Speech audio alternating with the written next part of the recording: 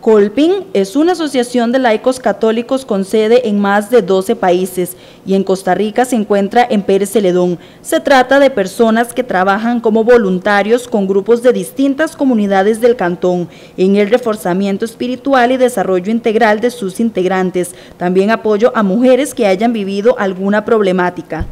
Yo trabajo como coordinadora de la Asociación Cristiana Católica Colpin Costa Rica y esta asociación se dedica a trabajar con laicos católicos.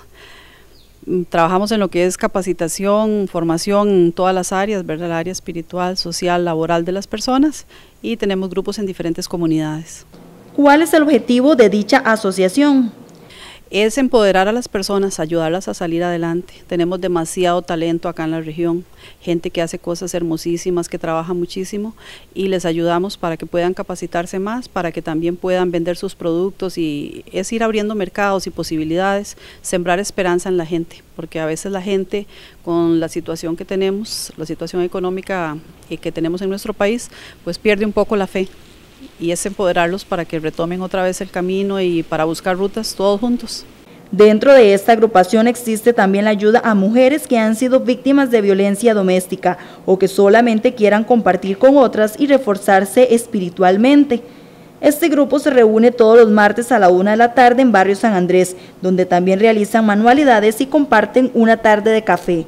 Sí, en la ciudad de San Isidro, en Barrio San Andrés, tenemos ahí una casa Colping, es una infraestructura en donde se reúnen mujeres desde hace siete años. Estas mujeres em, comparten, hacemos oración, eh, trabajamos mucho el empoderamiento de la mujer y también manualidades, todo de forma gratuita. Este viernes y sábado se realizará el Congreso Internacional en San Isidro del General, donde habrá participación del secretario general de la organización, así como los coordinadores de las diferentes sedes a nivel mundial. Sí, el próximo viernes y sábado vamos a tener acá una capacitación en la ciudad de San Isidro.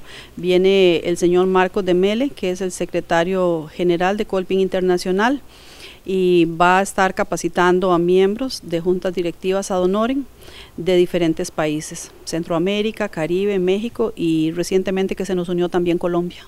Es por eso que hacen el llamado a los generaleños también para que asistan a la feria de emprendedores que tendrán este sábado en el Parque San Isidro del General a partir de las 10 de la mañana.